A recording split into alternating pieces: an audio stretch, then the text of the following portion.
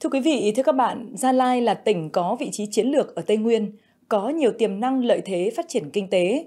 Nằm trên hành lang kinh tế Đông Tây, Gia Lai có các tuyến quốc lộ trọng yếu kết nối liên vùng, có sân bay, cửa khẩu quốc tế. Với diện tích lớn thứ hai của cả nước, cùng những điều kiện về đất đai khí hậu thuận lợi, có nhiều điều kiện để phát triển cây ăn quả, cây công nghiệp phục vụ xuất khẩu và phát triển các sản phẩm đặc sản địa phương mang lại giá trị gia tăng cao.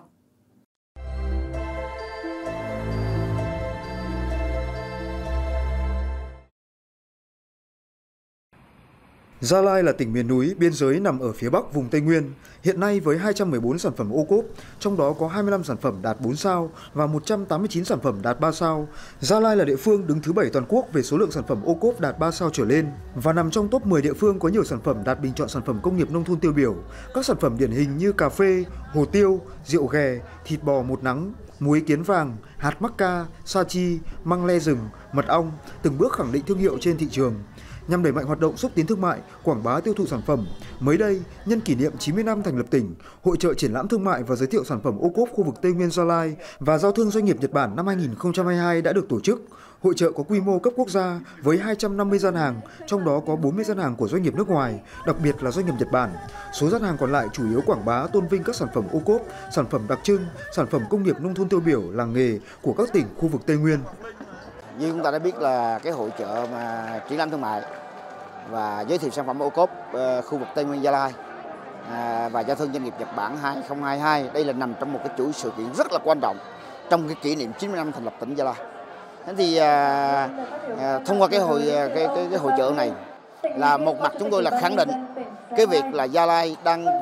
trỗi dậy sau cái ờ, đại dịch Covid 19 hai năm qua và cũng là một cái điều kiện cho các cái doanh nghiệp của Gia Lai và doanh nghiệp của 20 tỉnh thành trong cả nước từ miền Bắc cho đến miền Nam Kiên Giang Phú Quốc để gặp gỡ, giao lưu, trao đổi và gắn kết trong cái việc mà đưa các cái sản phẩm ô cốp, sản phẩm công nghiệp nông thôn tiêu biểu đặc sản đặc trưng của các vùng miền đến với người dân Gia Lai và đến với cái thị trường Tây Nguyên đầy tiềm năng này. Tham gia hội trợ triển lãm uh, uh, khu vực Tây Nguyên Gia Lai và, và giao thương với uh, Nhật Bản thì chủ yếu là quảng bá thương hiệu của mình uh, và đi tìm những cái đối tác mới để, để tìm thêm đầu ra. Sản phẩm của mình đó là hợp tác xã mình là có ba cái dòng sản phẩm cà phê, điều, mật ong thì à, năm vừa rồi là sản phẩm mình được chứng nhận ô cấp 4 sao. Nhà máy thì đạt chứng nhận à, ISO. Thì mình quảng bá đến hội trợ đây mình quảng bá thương hiệu sản phẩm mình đến với các khách hàng. Và đồng thời nữa là mình tăng thêm cái giá trị sản xuất của cà phê. Tất cả sản phẩm làm ra thì cái, cái điều quan trọng nhất là ta tiêu thụ. Mà đánh với các à, sàn thương mại hoặc là các hội trợ thì mục đích là ta quảng bá sản phẩm chúng ta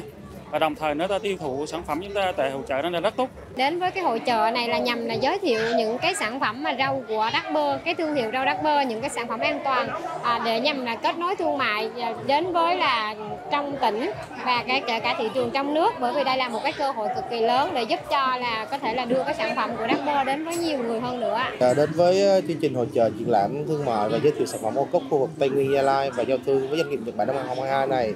thì uh, thông qua các uh, sở ban ngành đặc biệt là sở công thương đã tạo điều kiện để các doanh nghiệp có thể là quảng bá những hình ảnh của công ty mình đối với à, khách hàng trong nước cũng như là quốc tế. Thì đây là một dịp rất là tốt để các doanh nghiệp uh, có thể tự quảng bá hình ảnh của mình và đưa đến uh, cho khách hàng những cái sản phẩm uh, tốt nhất của mình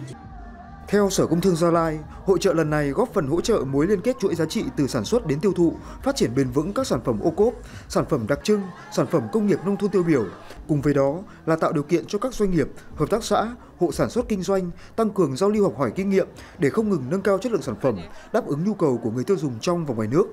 Đây cũng là hoạt động xúc tiến thương mại hiệu quả, giúp các nhà sản xuất tiếp cận với người tiêu dùng, đối tác, nhà phân phối, thiết lập kênh phân phối tại những thị trường tiềm năng, mở rộng quan hệ hợp tác, tạo cơ hội để các doanh nghiệp củng cố và khai thác thị trường nội địa và xuất khẩu.